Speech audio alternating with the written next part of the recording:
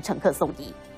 白色轿车从慢车道窜出，快速行驶在路面上，疑似要超车，方向盘失控，左偏撞向一旁路树，撞击力道猛烈，轿车往上弹跳，差点翻车，路树拦腰撞断，车头严重凹陷，汽车零件喷飞，现场一片狼藉。警消到场后，汽车起火燃烧，浓烟直窜，消防人员赶紧布水线灭火，汽车烧得焦黑，车头盖凹陷，钣金、轮胎直接喷飞。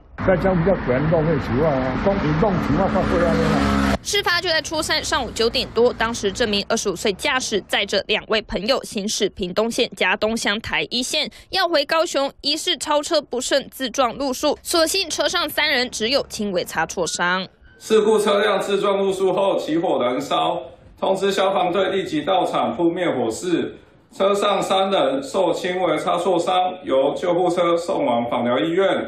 驾驶人九色子均为零。春节期间，民众开车上路返家，疑似超车不慎自撞受伤，所幸没有波及其他车辆。不过车辆严重撞击，恐怕得报废。三立新闻朱俊杰、陈安平。